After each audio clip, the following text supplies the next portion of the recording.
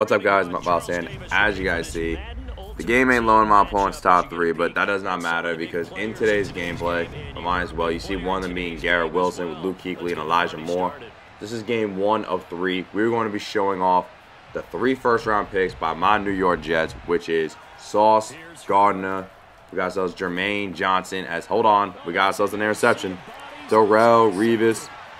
Revis Island is going to bring this thing back for six against the Titans. And yeah, just like that, what's his name? Big Money, one two one eight. Uh, yeah, he's out. Bye. So let's try that again now. My opponent's top three for game two: Randall Cunningham, uh, Jaron Brown, and cornerback Randy Moss. My three hasn't changed. But like I was trying to say before, we're showing off Sauce Gardner, we're showing off Garrett Wilson, and we're showing off Jermaine Johnson. If you guys do enjoy this video and you guys want to see someone new from the draft class, let me know. Drop a like, hit sub, turn on notifications, and comment down below for the algorithm.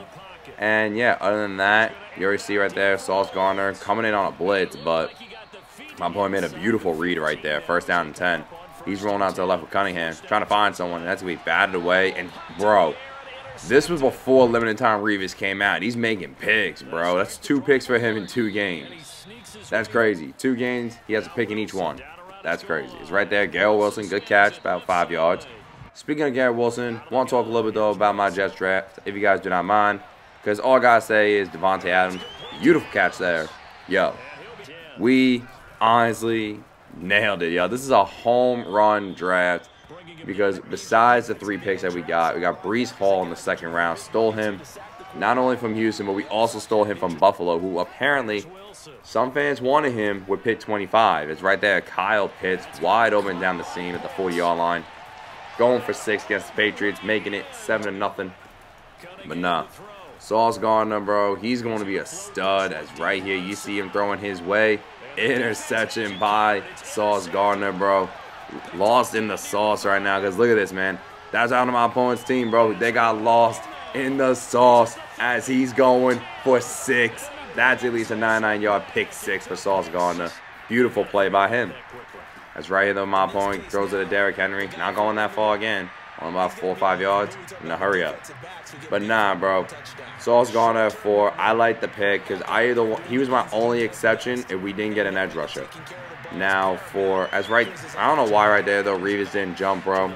So I know I cut off though after the game, but I don't know why Revis didn't jump there. Yo, that's another interception. But anyways, uh, where was I? Right.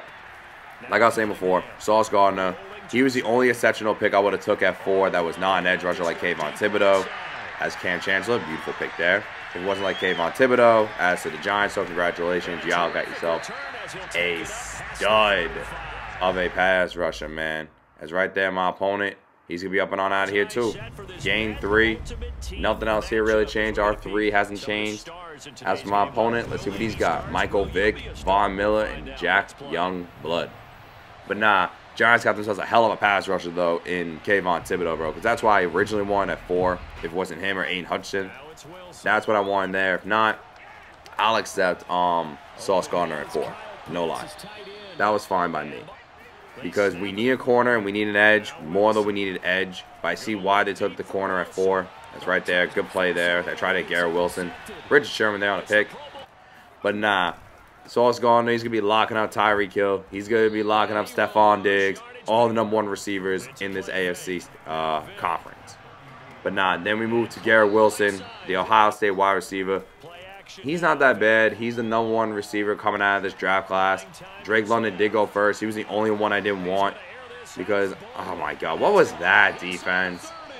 How does he get so wide open there? Pressure coming off the left side, bro, and somehow he has a guy wide open across the body. But anyways, when it comes to the receiver class, the only one I didn't want was Drake London. That's it. Like, I'll make it simple. When it comes to the weight with Drake London's injury, especially because he didn't run the 40, I would rather, and on his pro day actually as well, I would rather take someone with a torn ACL because that I'm more as much as obviously though any injury is not good at all for anybody. I'm more comfortable with players coming back from a knee injury. As wait, hold on, Garrett Wilson just torched Revis. Say goodbye to him because that is 78 yards, y'all. Garrett Wilson, six. Let's get it. just burn that corner, man. 7 nothing. But nah. I trust receivers, or not really receivers, like anybody coming off a knee injury more than an ankle or a heel injury. Because I don't know what it is though. I feel like with as much modern mess we have now, I just feel like they just come back a lot quicker than they do with an ankle or an Achilles injury, for example, or a heel injury like with I think it was Kyle Hamilton at the time. I think it was either Kyle Hamilton or Derek Stingley. I don't remember which one specifically. But they were a top prospect though that were projected to go down to the middle because of their injury. Like I said, I don't remember off the top of my head which one it was. But nah, Garrett Wilson though, he's gonna be a stud. He's gonna be that true number one that we have. Corey Davis is more of a number two. And with Elijah Moore in the slot with Braxton Berrios, that's gonna be good. After that, we traded back into the first round. And yo, I was at Jets draft party, bro. Oh my god. When we traded back up for Jermaine Johnson, being there at 26, the entire room erupted, bro. Like, I'm not even exaggerating. It was so loud in there, bro. But nah, you can't blame him. Jermaine Johnson's the third or fourth best edge rusher. That's right there. We're going to get picked off. I thought Garrett Wilson was going to beat Night Train Lane. But hey, what are you going to do? Anyway. Um, what is it? Jermaine Johnson was the third or fourth best pass rusher in this draft class. So no one expected him to be there at 26. And apparently, according to Joe Douglas, though, since pick 15, he's been trying to jump back in in there to go get him. But nah, that was just good moves by him. I was fine with it. Because now we got ourselves our pass rusher in JJ. We got ourselves Sauce, JJ, and G-Dub on the team. I am so happy. Speaking of Sauce, there is another interception by him. And if he beats this guy here, which he's going to do, he's going back for six again, bro. That is a 63-yard pick six. Sauce going, I got two picks me already. He's got two pick sixes. That's crazy. The only one who's going to be a little bit quiet, though, because I do have Jermaine Johnson, uh, is going to be him. Because I have him in my nickel formation, because I believe... Do I have... Yeah, I do. I still have, I believe, in this video, uh, Maxx Crosby in that starting left end spot. I'm in 3-4 or 4-3. That car is just something different, bro. That car came out back during the... What was the Mud Hero promo, part two, or the Guardian part two promo, whatever one it was, I forgot. And he just, he's still good, bro. Maxx Crosby is still good. Anyways, let's hop now to the 34th, not 34th, my mistake. The trade up for 36.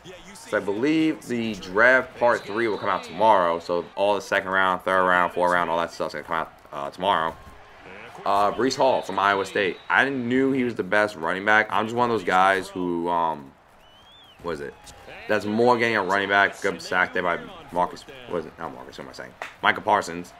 I'm thinking of three different players right now, but I'm more of a player that, yo, who just caught that? Jermaine Johnson, yo, what a pick. That's crazy. Every one of these new players, yo, made a play.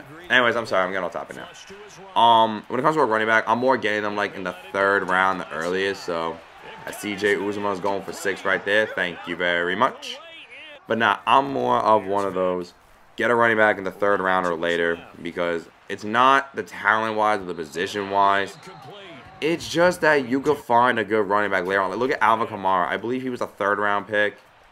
Um, who was it? I know obviously the big one though, like for example, like Saquon Barkley was taking three, not three, two. Uh, Zeke was taking five in his draft class, so on and so forth. I understand that. DJ Reed, good pick right there. But honestly, that's just me.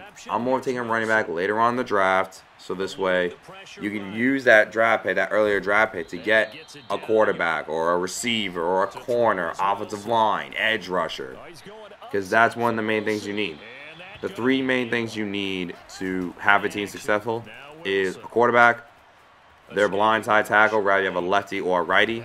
That would depend on whatever uh, side they play on. That's how you know which quarterback, not quarterback, uh, tackle you're taking. And the last one is an edge rusher, the guy that goes out to the quarterback. That's the way I look at it. So, Breece Hall, guy looks really good. Definitely can compliment Michael Carter. Can't wait to see that go on because Michael Carter is also a pass catching running back. And honestly, Hall can do it too. He's just another weapon for Zach Wilson. And then taking Jeremy Ruckert in the third round, Long Island native, huge Jets fan, bro. That I thought was one of the coolest things I've ever seen because that if you're a little kid, bro, and you're dreaming of playing in the NFL, and your favorite team drafts you, there's nothing more you can say, bro. I love, I would love it. And then the last two, I believe, was like Max Mitchell, an offensive tackle, and Mike uh, Michael Clemons, a, another edge rusher. So I'm fine with that. It was only like was like six players who drafted. That's cool. I'm good with it. Cause we still got 18 million cap. We still got some, still some good free agents out there. Like today, the Honey Badger just got signed by the Saints for a three-year deal. So think about like that. As Sauce Gardner's gonna get his third pick of the video. But unfortunately, it's not for six. I wish that was for six, bro. Three pick sixes, bro, in your debut. Oh, my Lord. I'm going to get lost in the sauce, y'all, all season. Watch. That's all of us Jet fans going to be in, bro. But not just seeing this type of stuff is right there. I tried to get Garrett Wilson again. But Night Train Lane is somehow staying with him. I don't know how he's staying with him, bro. But nah. This season, though, I cannot wait. It cannot come any quicker. As right now, we're about to, we're now under the two-minute warning for our final game of the video all three of these cards that I used today, Garrett Wilson, uh, Jermaine Johnson, and especially Sauce Gardner, all three of them played very, very well. I'm honestly happy with the results of these cards. And also, I cannot wait for this team to play as it's 4th and 10. He's rolling out with Michael Vick, and he's going to be wide open right there. Because the safety drops down. I might replace Brian Dawkins, to be honest with you. So let me know in the comments, should I replace Brian Dawkins with Minkah Fitzpatrick's 99 overall, or should I wait for somebody else? Let me know. We're going to hand off right here to Michael Carter. Try and get back inside. Good play there. He's going to get about maybe a couple yards. Timeout by my opponent. And you're going to see right here, play action. Garrett Wilson versus Night Train Lane one more time. And Garrett Wilson's going to beat him. I threw him on four streaks. Two out of four he got in this game. That's fine. Because Sherman stood with him. Night Train still with him. That's fine. I'll take it. He's going to throw across his body there with Michael Vick. Trying to get there with Kam Chancellor. We knocked it out. Got about 57 seconds left in the game. I hope you guys did enjoy this video. I wasn't I wasn't paying attention to this game, so honestly, the fact that I got this we can't cancel that was a little lucky. I'm not gonna front. But anyways, if you guys did enjoy this video, please do me a favor, drop a like, hit the turn, turn notifications, and comment down below who you're not only who you team your team drafted, but should I replace Brian Dawkins and who else do you guys want to see? I will have a game another gameplay up either later tonight, if not tomorrow morning. But again, if you enjoyed, let me know. Drop a like, hit the turn on notifications. So this way, guys, not miss a video. Follow my Twitter, links in the description. Hope you all have a great day. I'm out.